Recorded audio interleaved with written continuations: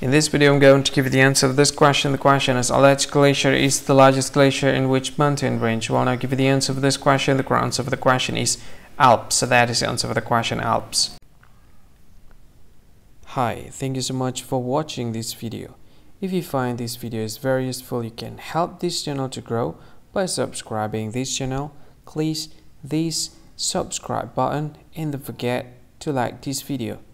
And if you find this video is not really good or you don't really like this video or you kind of feel that it's a little bit offensive or something like that, you can click this one, dislike button. You can do that anyway. And if you want to share this video with your friend, you can share it by clicking this share button and you can share it to any any social media that you wish that is currently available at this time like Facebook, Twitter, LinkedIn, and many others. Right? And if you want to add this video to your playlist, you can click this one. You can watch this video later and you can find more options by clicking these three dots.